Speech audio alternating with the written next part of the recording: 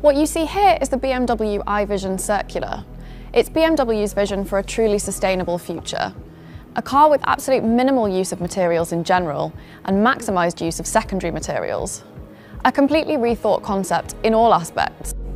It's a concept car that marks the beginning of the journey to become the most sustainable automotive brand in the world.